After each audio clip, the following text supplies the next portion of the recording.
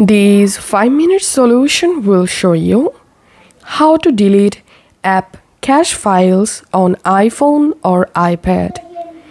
So if you're trying to delete any app cache files, then sorry to say that iPhone doesn't provide any feature to delete directly delete cache or cookies. So all you have to need is just go to your iPhone settings and scroll down a little bit until you find the general then tap on it.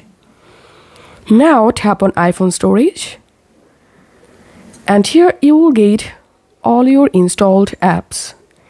Now tap on the app you want to delete the cache. And now all you have to need to delete cache tap on offload app.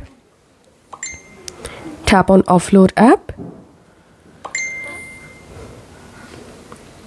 Once the app offloaded, all you have to need is just reinstall the app.